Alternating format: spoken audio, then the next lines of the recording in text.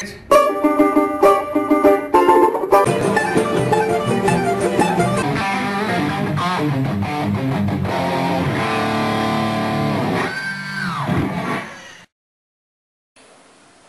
isso aí, galera. Emerson Brasa, novamente na areia. Vou estar explicando para você agora nesse exercício aqui a sequência relativa, beleza? Para você saber a sequência relativa do acorde maior, vou contar até o sexto grau. O que, que Dó, Ré, Mi, Fá, Sol, Lá. Então, aqui está o Dó maior e o Lá menor. Preparação do Lá menor. Então você vai fazer o Dó maior, o Mi com sétima, para estar tá caindo no Lá menor. Beleza? Só que tem uma nota meia diminuta também que você pode estar tá jogando para estar tá chegando ao Lá menor do relativo. Então você faz o Dó.